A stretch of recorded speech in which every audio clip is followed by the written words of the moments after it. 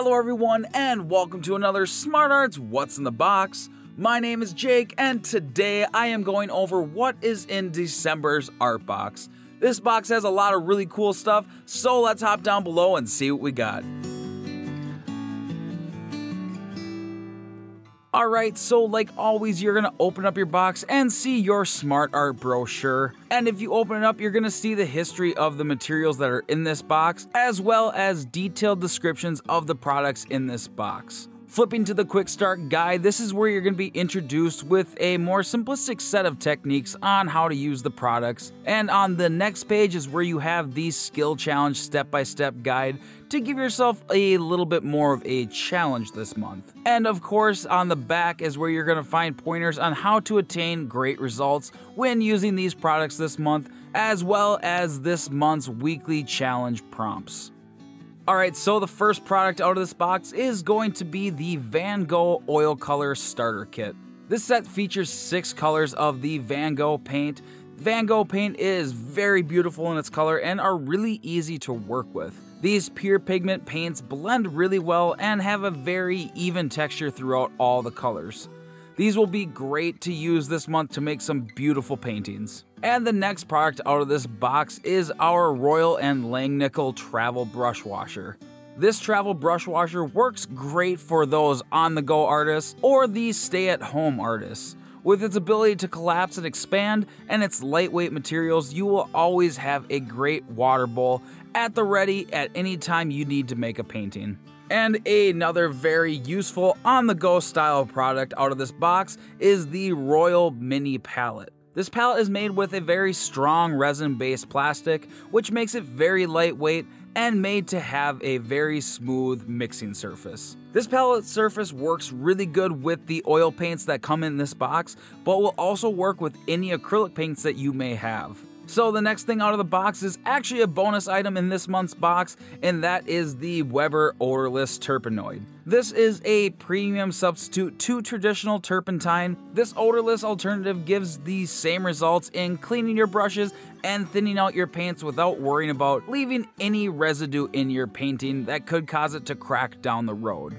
And the next thing out of this box is the Royal Zen Series 63 White Bristle Brush. This brush was made using boar bristle filament and are designed to hold their shape after using them.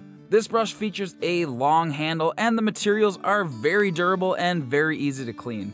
And the next two items out of this box are the Royal Soft Grip brushes Fan 4 and Round 5. These brushes are made with acrylic and feature a no slip grip to help keep your hands very comfortable while you're painting. I know for a fact that these brushes are going to play a huge role in making some beautiful landscape paintings this month.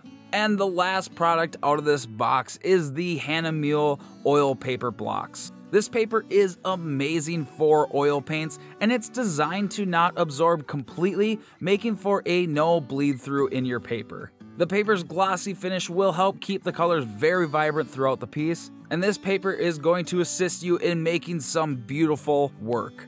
And we cannot forget about the best part, which is our sticker and candy to get ourselves energized. So, with that being said, let's get into this painting.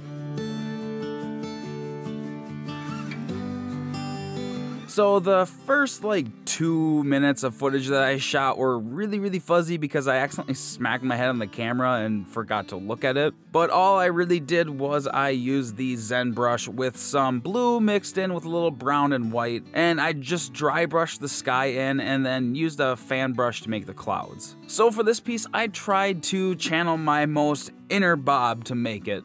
I used a very small palette knife to make the mountains using blues, browns, and yellows. I wasn't using any references to make this piece, so really I just let the paints kind of do their own thing in making really cool ridges and highlights in the mountains. So I'm not really used to making oil paints this small, so it was definitely a lot of experimentation with how to apply the materials. I did realize that on the next painting, I'm gonna have to tape down the paper because it was moving around the table way too much. At this point, though, it was pretty much too late. This paper is amazing, though. I really like the feel of it, and it really feels like you're painting on canvas with how the texture is and how thick it feels. So when it comes to making landscapes, I love using the fan brush over any other brush. You can use it for a lot of different things. It works great for textures, trees, water, clouds, and when it's dry, it works really good to soften the paint onto the paper. So I love making mountainscapes like this because you don't really need any references to make them. You can just play around and push the paints around until you get an idea down that you are going for. It's quite a peaceful process, really. And if you're someone who has never used oil paints before and you're used to only using acrylics, the oils take a lot longer to dry compared to the couple minutes that other paints take to dry. So don't wait around for it to dry, just keep adding and moving around paint and you will slowly get the results that you want.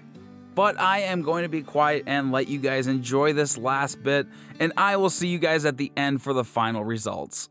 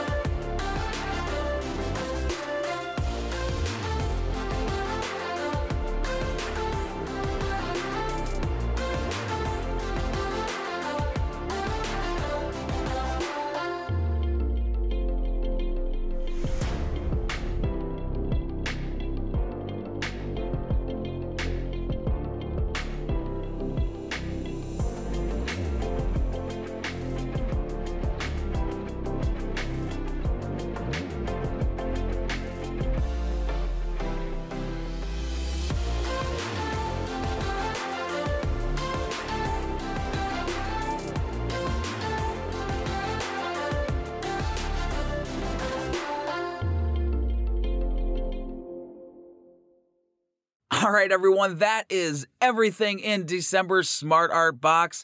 These materials were a lot of fun to work with, but now it's your turn to see what you can create using the materials in this box. Now remember to check out the weekly prompts that are on the back of your brochure, as well as the weekly videos where I try to tackle these challenges myself. Complete all four of the weekly challenge prompts by the end of the month and post them using the hashtag SmartArtWeekly and Smart Art Project to get your 500 Peacock points. Also, if you haven't heard yet, SmartArt actually has a new set of boxes called the SmartArt Bundle. These boxes represent a very specific kind of material in each box. If you want more information on this, make sure to check out the SmartArt webpage. Also, make sure to subscribe with notifications on so you don't miss videos like this one and if you like my work, make sure to check me out over at my personal channel over at Naughty Egg Draw. The link is going to be in the description. But that is all for today, everyone, and I will see you guys in the next video. Bye!